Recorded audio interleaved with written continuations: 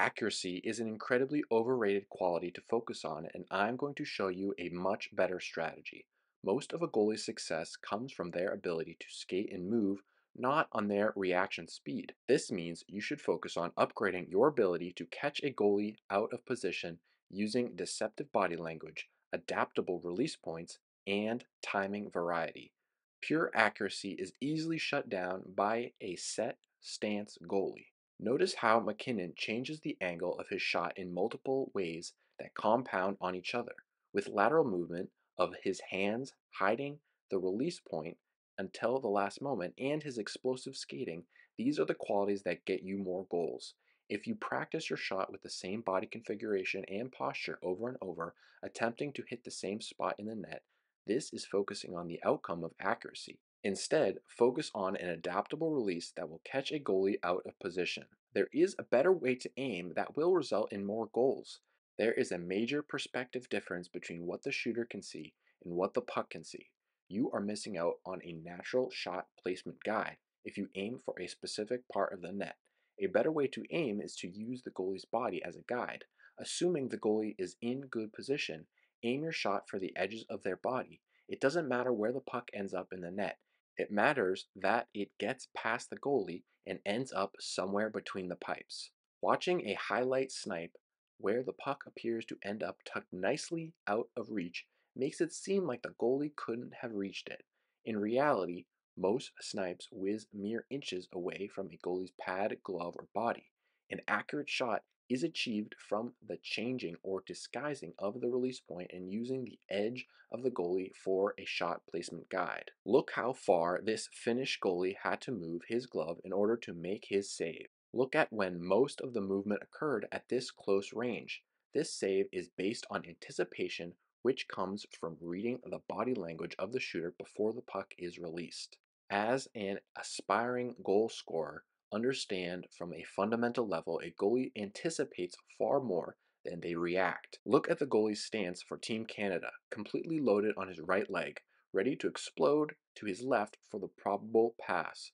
Your objective as a shooter should be to turn this anticipation into a weakness by causing uncertainty. Nowadays, goalies are 12 feet tall with massive equipment. There is no spot out of reach. You have to learn when to shoot when they aren't ready or change the release point. Look at how little time this goalie has to make this save after diving back door. Goalies are experts at anticipation. Yes, they have to be quick, but quickness doesn't matter if you go to the wrong spot. This guy, playing like a complete Swede with no finish here after this nasty one on one move between the legs against Team Canada. Becoming a one on one artist is about seeing moves as context specific tools. Understand how to distinguish between the direction a player fakes towards and the area the player uses. Roslovic and this Swedish player showcase the exact same move but in slightly different contexts. This between the legs move is mostly used to fake something to the middle and get the puck to the outside. Train your mind to focus on the context a move was used in rather than the move itself. One on ones are all about reading your opponents first, then execution. Learning to read your opponents is at the core of hockey IQ problems. I found yet another example of the Oilers running this loose set play from a face-off. Set plays in hockey are more like general strategies than a true set play. The Oilers' objective is to get McDavid open on the weak side with speed. Then it's up to him on what specific vulnerability to exploit. In hockey, you don't practice a set play through repetitions of the exact same conditions. You add variety and build in choices because it's almost a guarantee that there'll be some difference. Just look at these examples. One time, McDavid splits these two defenders. Another time, he spins towards the goal line.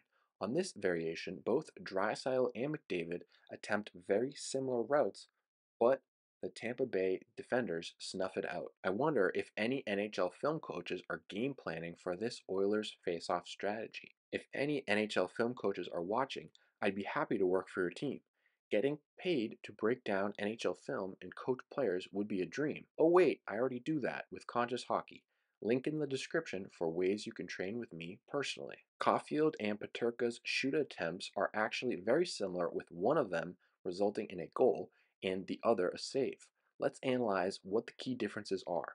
They both utilize the same route as they approach the net. One's a righty and one's a lefty, so there's a slight difference.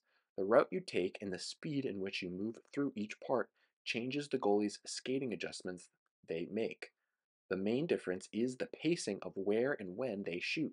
Caufield shoots the puck from further out, right after a pretty significant lateral handle. This lateral handle is also done by Peterka, but you can see moments before the shot, Peterka is slightly giving away his forehand range, where Caufield disguises his release point until he actually releases. Peterka slightly gives it away. Combine the slight giveaway with the slower pacing in the shot was anticipated and shut down by the goalie. Tavares weaves past one defender, spins past another one, and with four defenders all around him, you'll have to see what he does next because I'll be analyzing this goal in my next video. Make sure you subscribe if you found this video enjoyable. I'll be doing a lot more videos with this style moving forward. Let me know in the comments what plays you want me to cover next, and thank you for watching.